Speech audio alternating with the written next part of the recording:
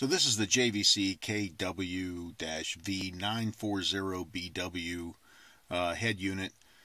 Um, I picked it up from Crutchfield. It's a reconditioned unit, and so uh, you know I got it for a few hundred dollars off. That made me real happy.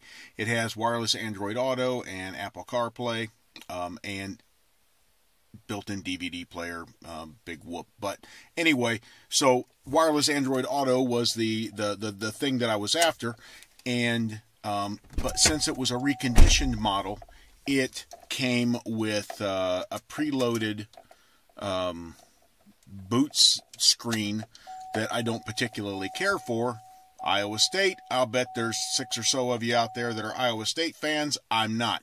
So, um, this is to cover the steps to get rid of that Iowa State logo and put up there whatever logo you want your girlfriend, um, you know, your boyfriend, whatever. Picture your car. Um, just there's some rules that you have to follow. So I'm going to cover some of those as I go through it. It has been painful trying to find how to do this. I emailed JVC. JVC responded back, "Oh, we don't have access to that information. You have to contact our our suppliers." That made no sense at all. So I contacted Crutchfield, and Crutchfield went, uh, I don't know how to do that. So here we go.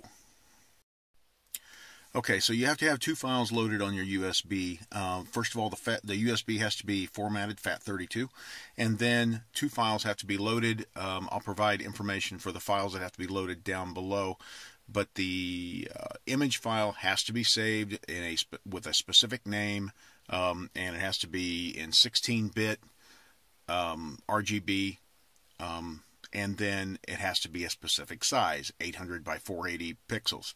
So there, it, it's not very flexible, but um, and then there's a text file that has to be loaded as well on, in the root directory, and you plug the root directory into the the USB. That's my little USB cable hanging out down there at the bottom, and my USB stick is plugged into it.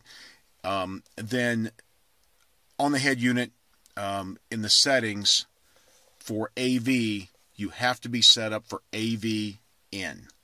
Um, if it's set to one of the other options, um, in my case, it absolutely would not would not work.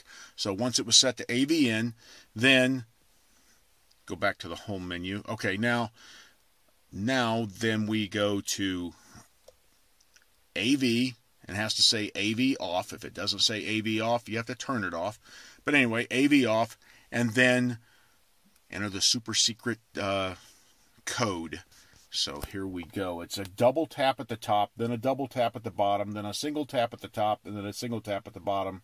All these are in the, the left-hand side. So tap, tap, tap, tap, tap, tap, and we get our the super secret menu.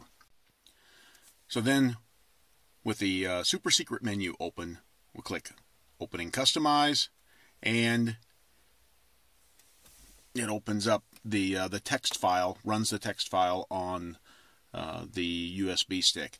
So if you uh, messed up with your image file, uh, say you didn't save it under the correct file name, um, or it the, the, the system just absolutely didn't recognize whatever you know you saved it as a ping instead of a bitmap or, or some silly thing. Um, then you come up with a different color screen and it says ng no good.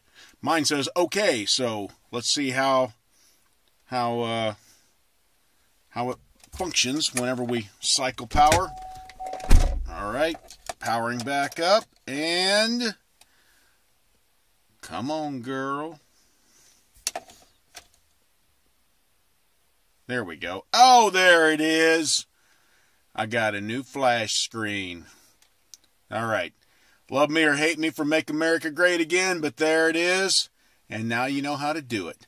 So, uh, again, I'll leave the information down below on exactly uh, what to do with the the um, two files that you need.